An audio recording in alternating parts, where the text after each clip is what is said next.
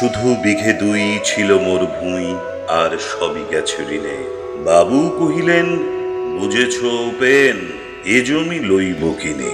কহিলাম, আমি, তুমি ভূস্বামী ভূমির অন্ত নাই।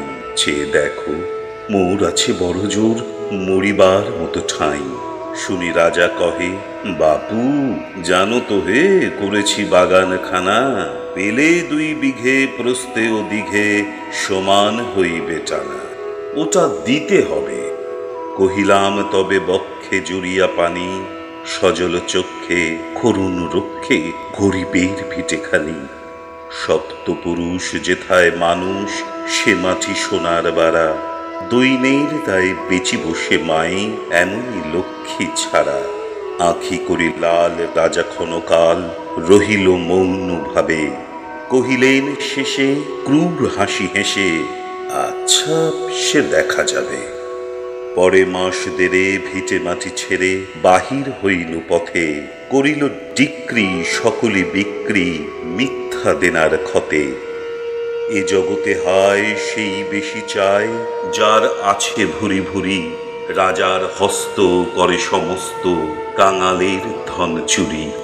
মনে ভাবিলাম, মোরে ভগবান রাখিবে না মোহ গর্তে, তাই লিখি দিল বিশ্ব নিখিল দুবিঘার পরিবর্তে। সন্ন্যাসী বেশে ফির দেশে দেশে, হইয়া সাধুর শিষ্য। কত হেরিলাম মনোহর ধাম, কত মনোহর দৃশ্য।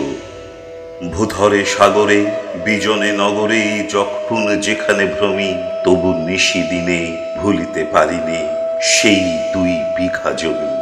হাটে, মাঠে, বাটে, এই মতো কাটে বছর পনেরো ষোলো। একদিন শেষে ফিরিবারে দেশে বড়ই বাসনা হলো।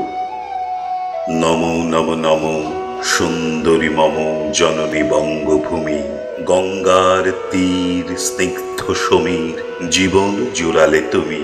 অবারিত মাঠ, গগন ললাট, চুমে তব পদধূলি, ছায়া সুনিবির শান্তির নীর, ছোট ছোট গ্রামগুলি। পল্লব ঘন, আম্রকানন, রাখালের খেলা গেহ, স্তব্ধ অতল দিঘি কালো জল, নিশীত শীতল স্নেহ। বুক ভরা মধু, বঙ্গের বধূ, জল লয়ে যায় ঘরে। মা বলিতে প্রাণ করে আনচান, চোখে আসে জল ভরে। দুই দিন পরে দ্বিতীয় প্রহরে প্রবেশিনু নিজ গ্রামে। কুমোরের বাড়ি দক্ষিণে ছাড়ি, রথ তলা করি বামে। রাখি হাট খোলা, নন্দীর গোলা, মন্দির করি পাছে। ত্রিশাতুর শেষে পৌঁছিনু এসে। আমার বাড়ির কাছে। ধিক ধিক ওরে, শত ধিক তোরে নীলাজ কুলোটা ভূমি। যখনই যাহার, তখনই তাহার। এই কি জননী তুমি? সে কি মনে হবে? একদিন যবে ছিলে দরিদ্র মাতা, আঁচল ভরিয়া রাখিতে ধরিয়া ফল, ফুল, শাক পাতা। আজ কোন রীতে কারে ভুলাইতে ধরেছ বিলাস বেশ। পাঁচ রঙা পাতা অঞ্চলে গাঁথা পুষ্পে খচিত কেশ। আমি তোর লাগি ফিরেছি বিবাগী গৃহহারা সুখীহীন। তুই হেথা বসি, ওরে রাক্ষসী, হাসিয়া কাটাস দিন। ধনির আদরে গরব না ধরে, এতই হয়েছে ভিন্ন। কোনোখানে লেশ নাহি অবশেষ, সেদিনের কোনো চিহ্ন কল্যাণময়ী ছেলে তুমি ওই ক্ষুধা হরা সুধা রাশি, যত হাসো আজ, যত করো সাজ, ছিলে দেবী হলে দাসী। বিদীর্ণ হিয়া ফিরিয়া ফিরিয়া চারিদিকে চেয়ে দেখি, প্রাচীরের কাছে এখনও যে আছে সেই আম গাছ একই।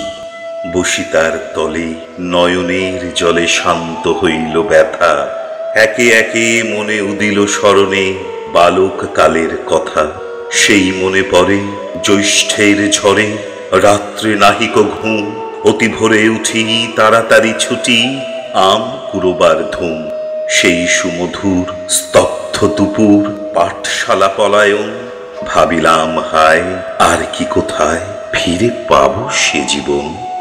সহসা বাতাস ফেলি গেল শ্বাস, শাখা দুলাইয়া গাছে, দুটি পাকা ফল লোভিল ভূতল। আমার কোলের কাছে ভাবিলাম মনে, বুঝি এতক্ষণে আমারে চিনিল মাতা। স্নেহের সে দানে বহু সম্মানে বারিক ঠেকানো মাথা। হেনকালে হায় জমদূত প্রায় কোথা হতে এলো মালি। ঝুটি বাঁধা উড়ে, সপ্তম সুরে বাড়িতে লাগিল গালি।